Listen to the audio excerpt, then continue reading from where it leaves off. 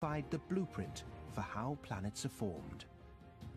And on one of Jupiter's four largest moons may lie the answer to an important question. Beneath these vast sheets of ice, mankind could finally discover if alien life exists. Cutting-edge space missions are unlocking the secrets of the enigmatic giant, Jupiter.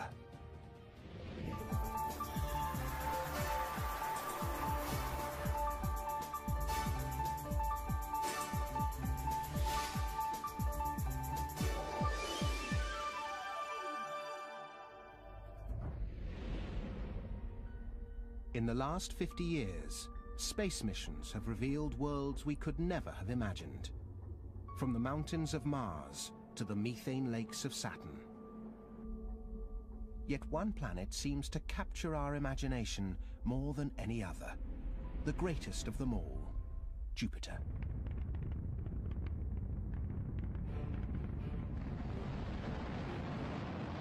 Most of what we know about Jupiter comes from one space mission, Galileo, launched aboard the Space Shuttle Atlantis in 1989. Each new discovery it made deepened our understanding of Jupiter and its moons. It hoped to uncover evidence of how the solar system itself was formed. Eleven times bigger than Earth, yet probably without a solid surface, Jupiter is a ball of gas and liquid 145,000 kilometers across, with lightning superbolts a thousand times more powerful than the strongest strikes on Earth, and a ring system like Saturn's, but too faint for our telescopes to see. The Great Red Spot, a single vast storm with 250 mile an hour winds, so huge it could swallow the Earth three times over. 63 moons orbit this giant. Galileo set out to study four of them, Io, Europa, Ganymede, and Callisto. Each of which would be a, a beautiful target for a space mission in and of itself. Scientists expected dead and lifeless worlds 800 million kilometers from the Sun. Io, Jupiter's closest moon, is slightly larger than Earth's own moon. But Io is far from lifeless. Huge plumes of sulfur dioxide reach hundreds of kilometers into space.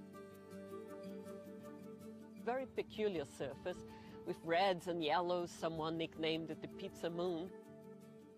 Ganymede, the largest moon, is a world of scars and frozen slush. And Europa, most mysterious of all, its icy surface may hide a liquid ocean below.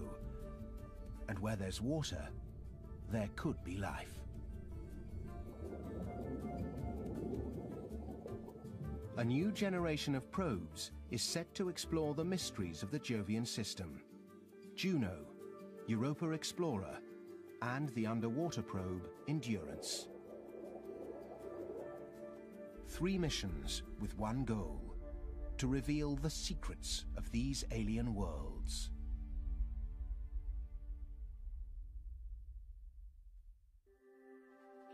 Before Galileo, previous missions could only look from afar. In the 1970s and early 80s, Pioneer and Voyager gave us tantalizing glimpses of Jupiter and its moons. But they raised more questions than they answered. How did Jupiter form? What powers its vast storms?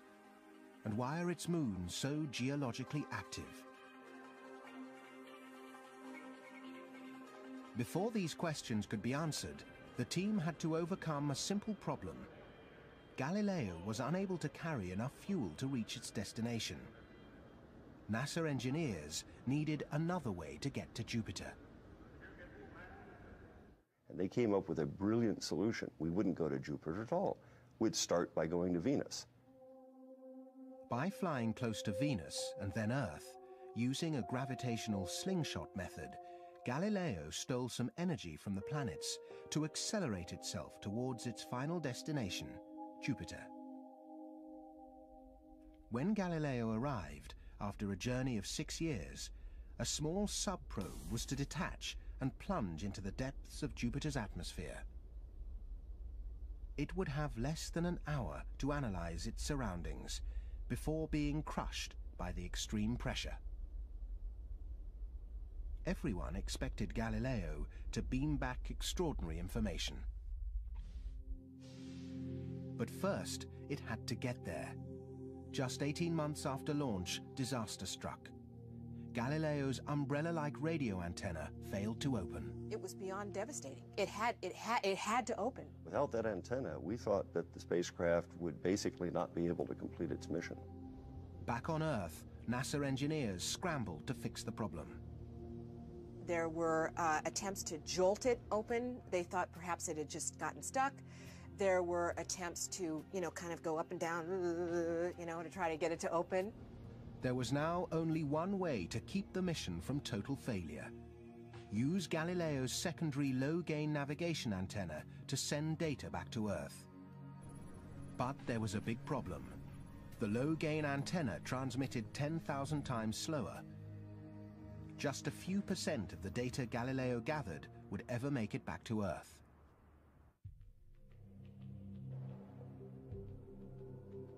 As the spacecraft neared the end of its journey, it coincided with a massive comet on a collision course with Jupiter.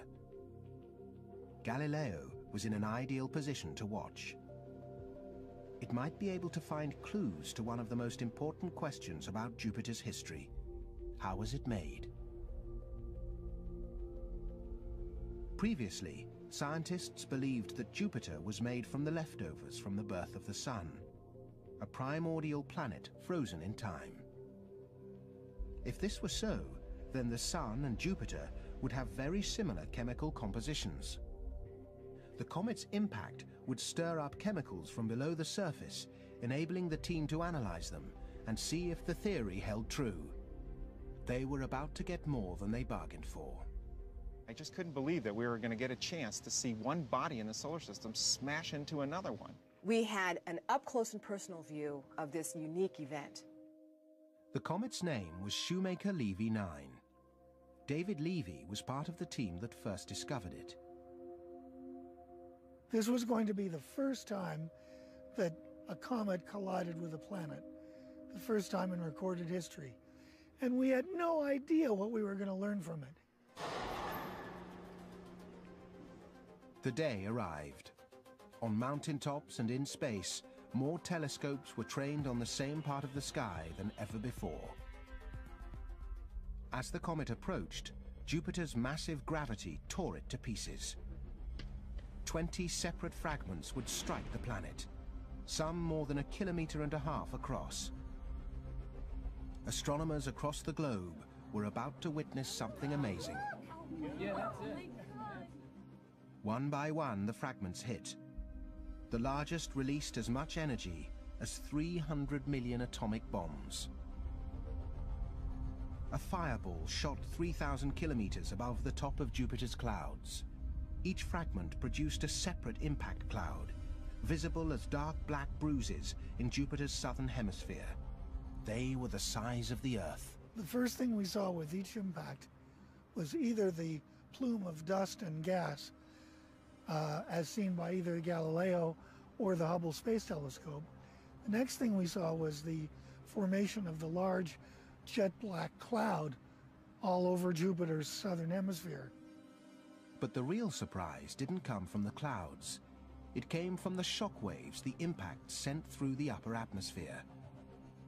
There was only one explanation, and to astronomers, it was a revelation. When uh, Shoemaker-Levy 9 crashed into Jupiter, uh, it's sort of like a rock going into a pool. It, it, sent out waves, and the speed of the waves depends on the amount of water in the atmosphere.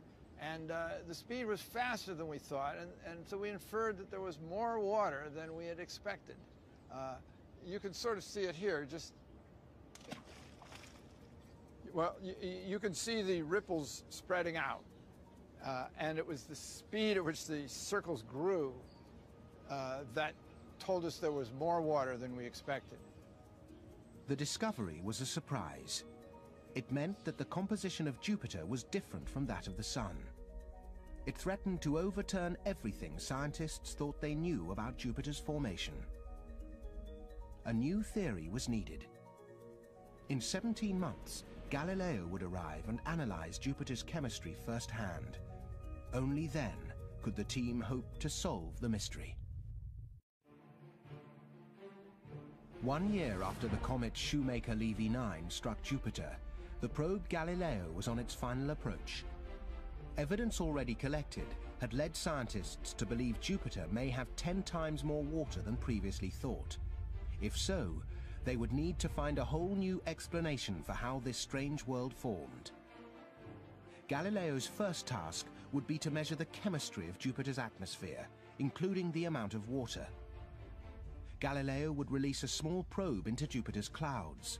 The probe would also measure the wind speeds and temperatures at different depths to try and explain why the weather is so violent, as well as answering the big question. Is Jupiter a long-lost cousin of the Sun, or something else entirely? Mission Control fired three explosive bolts. The small probe disengaged from Galileo. Its goal was to penetrate the atmosphere of Jupiter. With the probe on its way, Galileo fired its engines, setting a new course to bring it into orbit around Jupiter. The images it took were thousands of times more detailed than any taken before. Then, two months out, there was a disaster. The tape deck used to record the vital data jammed. What they discovered was that this tape recorder, if it was run at very high speed, was prone to the tape actually getting hot and sticking. And so we re-engineered the mission so that we would only use the slow speeds of the tape recorder and we didn't use the whole thing. So that coupled with the antenna really limited the amount of data and how fast we could send the data back to the Earth. The malfunctioning tape deck was a bitter blow. Five months had elapsed since Galileo launched its probe. Soon it would plunge into Jupiter's atmosphere to measure its water and other elements. After the impact with the comet Shoemaker-Levy 9, scientists were left with fundamental questions about how Jupiter and the planets formed. Could this tiny probe give them the answer they had been waiting for? The small probe needed to enter Jupiter's atmosphere at precisely the right angle. Too steep and it would burn up. Too shallow and it would be thrown off course.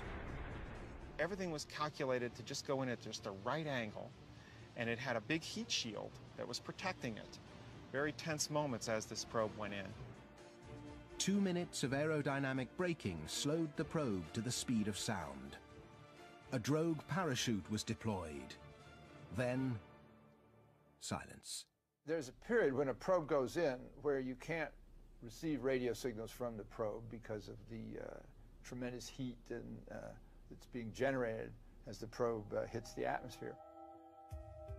As the probe slowly descended through 200 kilometers of atmosphere, it collected the data and relayed it back to Galileo and then to Earth.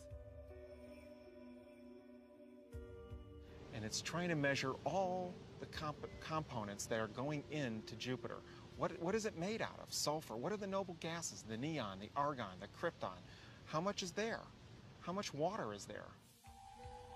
As the probe dived into Jupiter's atmosphere, scientists were convinced they would find the layer of water vapor the comet had revealed, giving vital clues to the planet's creation. And I even announced a prediction at a scientific meeting uh, offering to bet anyone in the audience uh, $10 that uh, the probe would find uh, more than a certain amount of water. But instead of water, the probe drifted through thin, wispy gases. It had flown into a downdraft, a dry gap in the clouds. Where was the water they had expected to find? Jupiter must have both dry areas and wet spots. What they discovered was that Jupiter has some long-term weather patterns, spots that move around that they didn't really realize were there before. The probe went deeper still, but there was almost no evidence of water. less than an hour's worth of data was about to trigger a revolution in our understanding of how the solar system formed. The probe detected a high proportion of heavier elements like argon, krypton, carbon and nitrogen. It found levels two to three times higher than found in the Sun. These elements only condense at extremely low temperatures, lower than the temperature found at Jupiter's present position. We learned that it, uh, uh, the atmosphere of Jupiter has chemical constituents that came in with very cold material from the outer solar system. For astronomers, the discovery was a bombshell. The presence of these elements meant Jupiter must have formed in a different way from the Sun. This little probe, in one felt swoop, showed us that all of our ideas of how planets were formed were wrong. We didn't understand how the planets were made, and we didn't understand the early solar system. The small probe's discoveries shocked the scientific community.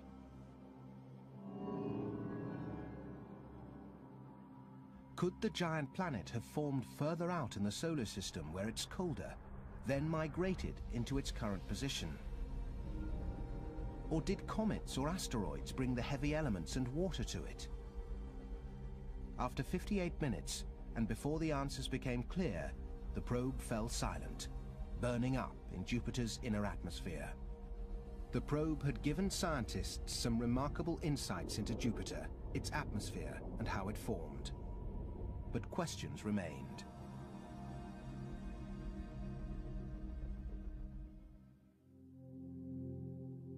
In 2011, a new mission, Juno, will attempt to find answers, closer to Jupiter, and gather more information than ever before. What we're really after with Juno is the ingredients. From the ingredients of Jupiter, we're going to figure out the recipe And that's what's going to tell us how planets are made. With the probe having completed its work, it was now time for Galileo, 200,000 kilometers above Jupiter, to turn its attention to another long-standing mystery, the planet's weather. How can storms three times the size of Earth get so big and last for over 300 years?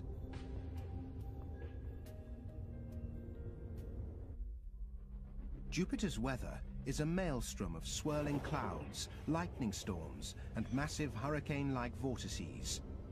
For the Galileo team, it was a mystery.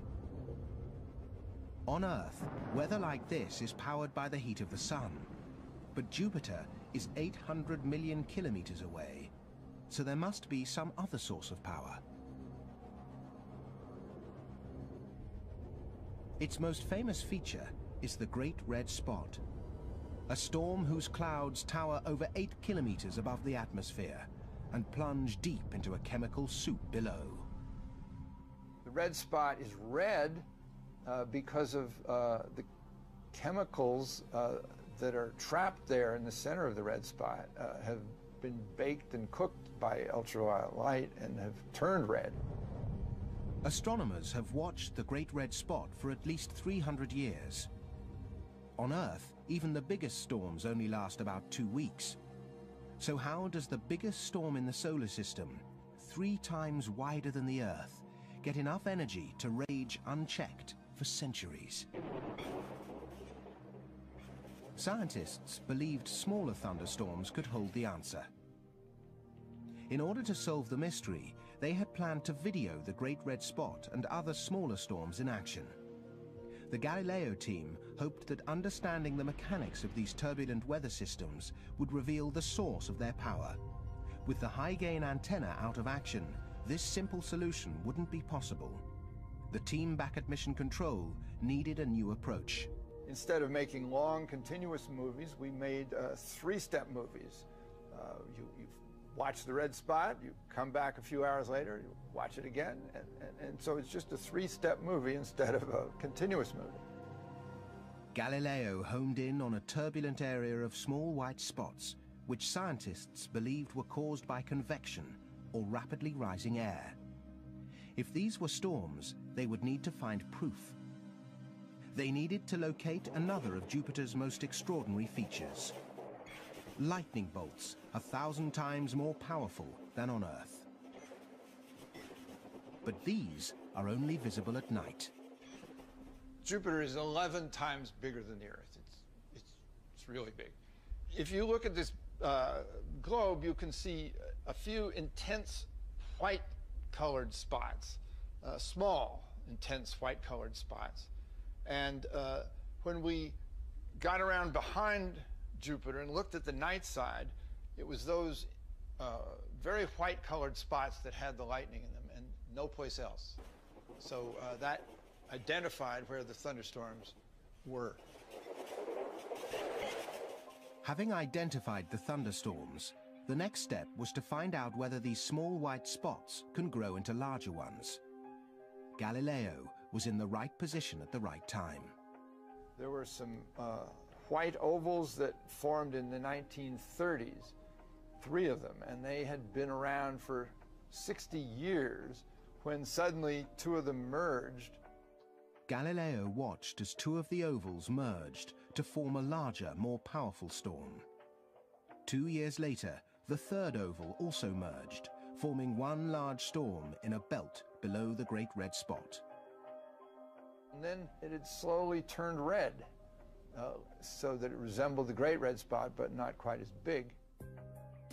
Nicknamed the Red Spot Junior, it was hoped that observations of its birth might also help to solve the mystery of where these large storms get their energy.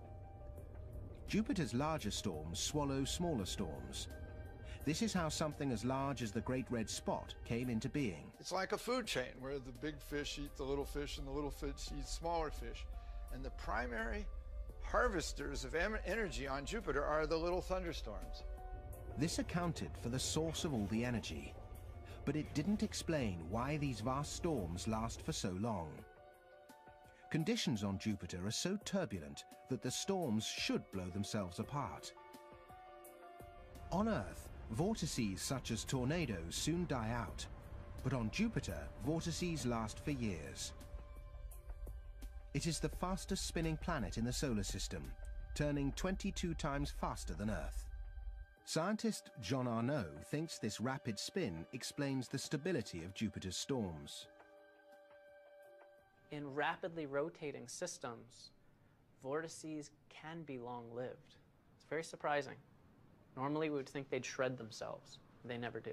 What we've learned from these missions is that it's very coherent, is that it's very stable.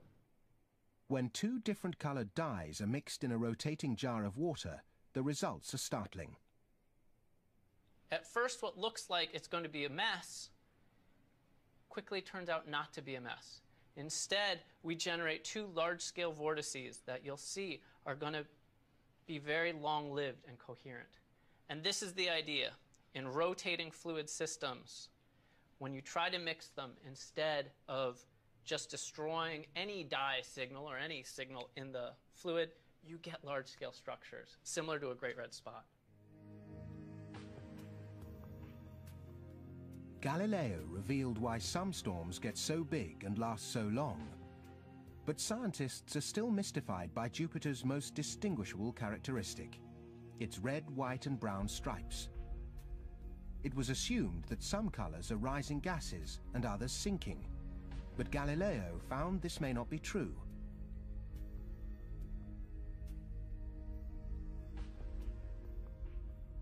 Although its atmosphere is hundreds of kilometers deep, only the surface layer is visible. Here, high-velocity winds blow in opposite directions, causing these multicolored patterns to be dragged across the surface.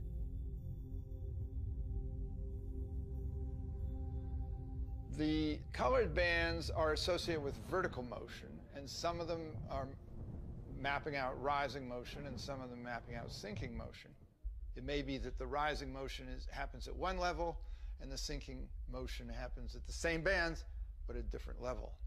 Scientists will have to wait until the Juno mission in 2011 to look through the top layer of Jupiter's atmosphere and see just how the planet is spinning. The 2011 Juno mission will orbit Jupiter 32 times, each orbit lasting 11 days. The orbits will pass over Jupiter's north and south poles, shifting longitude with every flyby to scan a new section of the planet. For the first time, Juno will map Jupiter's entire atmosphere down to a depth of more than 550 kilometers. Jupiter's vast weather systems may finally yield their secrets. Scientists now realize that the planet's fast rotation maintains Jupiter's long-lived storms, but more importantly, it also drives Jupiter's most powerful force, its magnetic field. And we can study that system and compare it with what goes on at Earth and uh, learn a lot that will help us understand Earth as well. The Earth's magnetic field is generated by the churning motion of molten iron around the core. Jupiter is made of gas, but at its core, the hydrogen is so compressed it acts like liquid metal. The magnetic field is, is created deep down in the planet where the pressures are so great that the hydrogen in Jupiter has become metallic. It actually behaves like a metal. And so it's moving around and currents are being created. And these manifest themselves out into the magnetic field that surrounds the planet.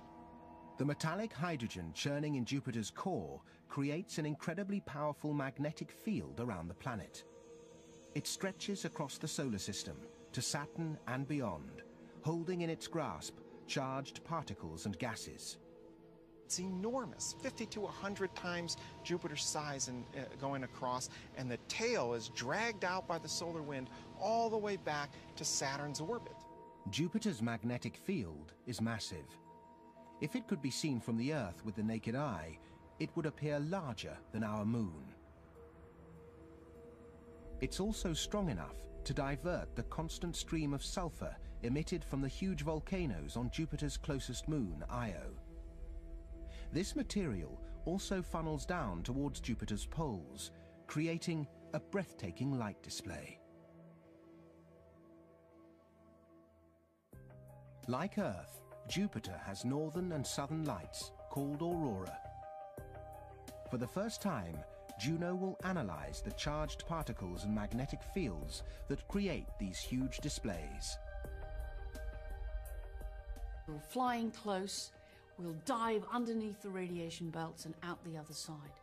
And we'll fly through the charged particles that bombard and light up the atmosphere with the northern aurora. The team hopes the study of Jupiter will yield a better understanding of the dynamic processes that create Earth's own magnetic field. But the Jovian system has other secrets to offer. Its moons are not cold and inactive, but dynamic worlds that may hold the answer to the ultimate question. Is there life beyond Earth?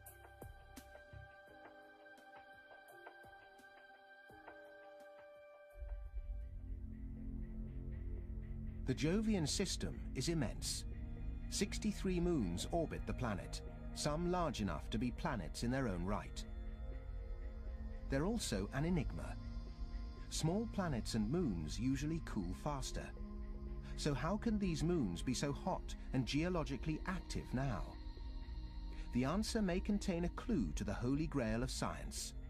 Is there life on other worlds? The four largest moons are Ganymede, Callisto, Io, and Europa. Each one is profoundly different. Where every time Ganymede goes around once, Europa goes around twice, and Io goes around four times. It's not a coincidence. These moons have evolved into this wonderful cosmic dance. Astronomers had expected Jupiter's moons to be cold, dead lumps of rock and ice. What Galileo found were active dynamic worlds. First stop was the mysterious Ganymede, the largest moon in the solar system. If it orbited the Sun instead of Jupiter, astronomers would call it a planet. These NASA images show its mountains, valleys, craters, and frozen lava flows. Almost immediately, the team found something extraordinary. Galileo's magnetometer was picking up unexpected readings. I was flabbergasted. The evidence right there that there was a magnetic field uh, caused me to say, I don't believe it. Ganymede is the only moon in the solar system with its own magnetic field, but it's a puzzle. The moon should be frozen solid. If Ganymede's got a magnetic field, it must have a molten core. The discovery of Ganymede's magnetic field only deepened the mystery of how planets form. Something must have happened in Ganymede's past. Something catastrophic enough to have heated up this moon. Galileo showed us that Ganymede is a fascinating world, one that's gone through a very complex history, a world in its own right. But as well as detecting Ganymede's normal magnetic field, Galileo found a second varying field. That's telling us there's probably also a liquid water ocean within Ganymede. Scientists suspected this ocean was buried deep beneath the moon's rocky crust. The team was eager to investigate, but Galileo's orbit meant it had to leave Ganymede and move on. More surprises lay ahead. Next was the outermost of Jupiter's four largest moons, Callisto, cold and rocky.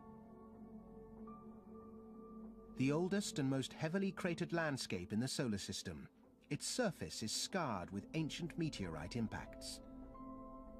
Scientists were perplexed by craters with strange bright rims. It seemed dark surface material had slipped away, exposing the lighter material below. Nothing like it has ever been seen on Earth. So what's the material made of that's slumping down? What's the process that's causing it to slump off? And it certainly proved to be a much more interesting body upon close examination than we ever thought.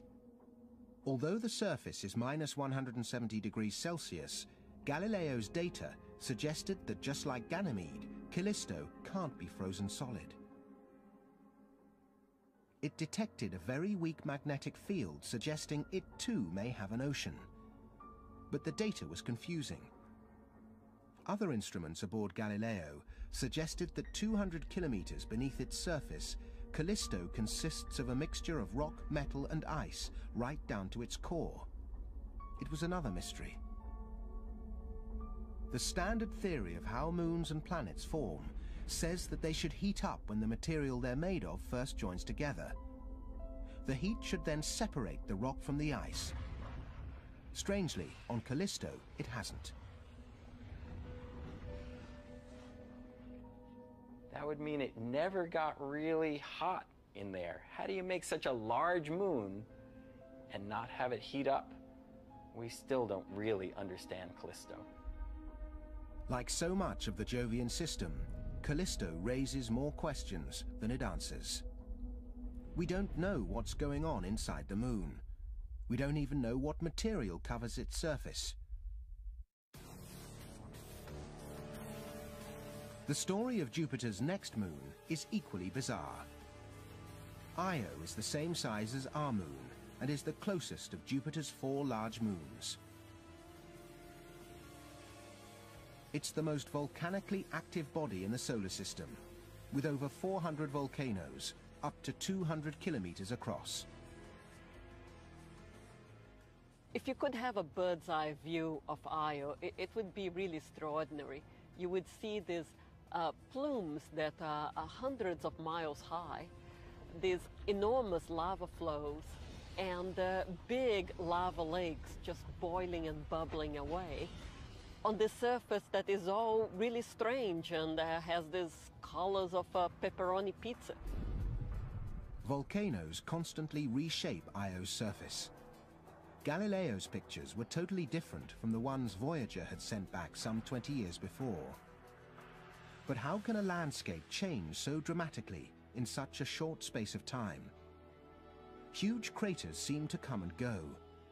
The cause of their disappearance seems to be giant plumes of sulfur-rich gases shooting around 320 kilometers above the surface.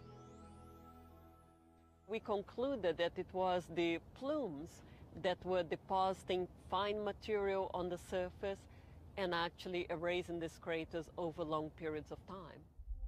But as with Jupiter's other moons, there was a further mystery. This much volcanic activity requires an immense amount of heat. But where had it come from?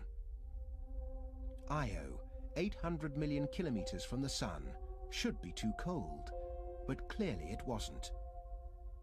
Could the answer be gravity? Jupiter's gravitational field keeps Io in orbit, but as it goes around, it passes on the inside of Jupiter's other moons. Their gravity pulls Io in the opposite direction. That distorts Io's shape. It's the distortion that creates the heat. As Jupiter's large moons orbit around the planet, they're pulled and pushed and squeezed as they go around in their orbits. And this creates heat, friction, and causes melting within Io of the rock to power its volcanoes. It raises tides on Io, very much like the moon raises tides on the oceans on Earth. Only on Io, the whole surface goes up by over 300 feet. Can you imagine what it would be like on Earth, like here in Los Angeles, if the crust of the Earth was rising 300 feet? It was an astonishing discovery. A world pulled apart, shaped by violent forces. Yet, as amazing as it sounds, of all Jupiter's moons, Io may not be the strangest. The next moon on Galileo's path was Europa. Its surface is covered in strange geological shapes and parallel tracks that cut across the ice. It's an ice world with an extraordinary secret. Could it harbor the ingredients for life?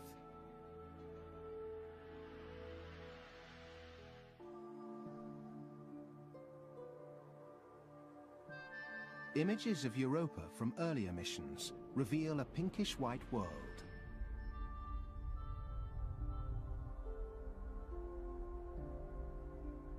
But Galileo found fewer meteor craters than expected. That meant something was erasing the craters after they formed. Because Europa's surface is ice, scientists believed water could be welling up from below. This moon was so intriguing, the team wanted a better look. But to do so would mean spending more time at Europa than planned. The original schedule called for only three flybys of the moon Europa, but the evidence was so compelling that it compelled uh, the mission to be extended in length and to go back several more times. Galileo's first job was to image the moon in greater detail. The question was, how active is Europa's surface? Are the processes that erase impact craters fast or glacially slow? The team began by assuming the process could take billions of years. That assumption changed fast. I'm listening to them discussing the age of Europa's surface dropping. Oh, well, maybe it's a couple billion years old. And then the next flyby, well, it might even be a 100,000 years old. Uh, and then the next flyby, it may be currently active. While measuring Europa's magnetic field, Galileo uncovered another mystery. As the moon orbits Jupiter, its magnetic field shifts. Europa must have a conductive layer which allows Jupiter's magnetic field to pass through it. There is only one thing that could have caused this, and it was a big surprise for the Galileo team. We were able to interpret these signatures as being produced by a global ocean beneath the surface of the ice.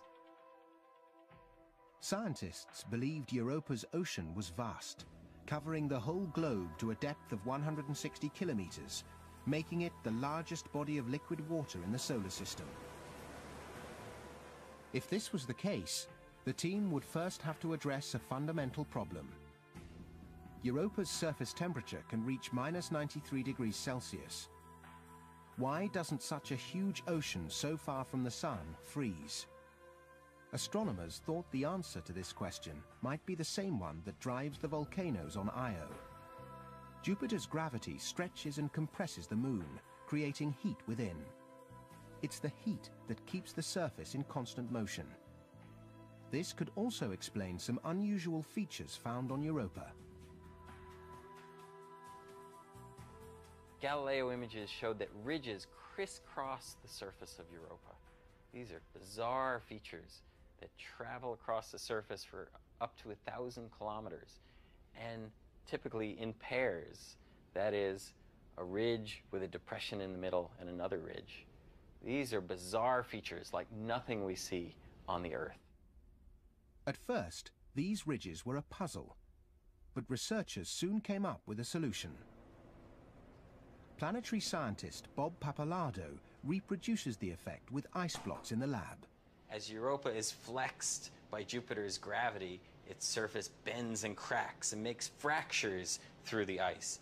Well, as it's squeezed and bent, the ice slides back and forth along these fractures. Now, this can create heat as these blocks move by one another. And that heat can warm the ice on either side of the block, and that warm ice rises up to form these strange ridges that we see, these tracks that seem to go across the tundra of Europa. Galileo revealed a world in constant motion, evidence of heat hidden below the ice. Flows of material on the surface are possible evidence of ice volcanoes or geysers. Brown-red stains stretch across the ice, where it's cracked open, and salty material from the interior has welled up from below. We see pits and spots and domes on the surface of Europa that might be related to the rise of blobs of warm ice that move up through the shell, sort of like a lava lamp. Heat from the interior of the moon may even drive hydrothermal vents in the ocean. On Earth, hydrothermal vents on the sea floor are hotspots for life. Galileo's data also suggested there's carbon dioxide frozen on Europa's surface, possibly welling up from the ocean below. If so, the find was huge because carbon dioxide is vital for life. Does this mean there's life on Europa? I'm in the camp that where there's water, there's a very good chance that there's life, and where there's materials for that life to use. And on Europa, we seem to have the materials and we have the water. If we search and find life within the ocean of Europa, that'll be an enormous leap in understanding whether we're alone in the universe or whether life may be everywhere. The search for life is an irresistible lure. Scientists are desperate to go back to Europa. Near the end of the next decade, they hope to launch a groundbreaking mission to orbit the Moon. The Europa Explorer will take the first steps towards answering the biggest question of all. Is there life on other worlds? It will survey the ice on Europa's surface. As well as analyzing its structure, it will search for spots where we could one day break through to the ocean beneath. The Explorer's main tool is radar. It will give scientists a three-dimensional map of Europa's crust. This will tell them just how thick the icy shell is how far beneath the surface the ocean is, if it's a global ocean, um, how deep it is, how, how thick the ocean layer is. These are crucial questions. Once scientists know how thick the ice is, the next step is to work out how to get beneath it, and that will mean a completely new mission. A probe that will not only orbit Europa, but land and explore its subsurface ocean. A robotic submarine, Endurance, is already at work in Antarctica. It's the first of a new breed of underwater probes that can also operate under the ice. The aim is to create a vehicle that needs no instructions from home. Endurance must make decisions all by itself. Perhaps one day a vehicle like this will search for life on Europa. But first, it has to get through the ice that thick ice cover, it takes a lot of energy to melt ice. People don't usually appreciate that. But We'll need some kind of nuclear uh, system that will melt that ice, and it will take weeks, perhaps months, to get through that ice.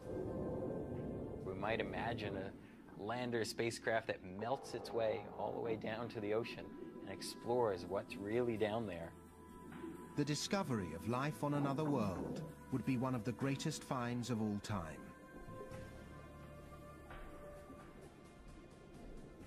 If life exists in the ocean of Europa, that would tell us that life probably exists almost anywhere there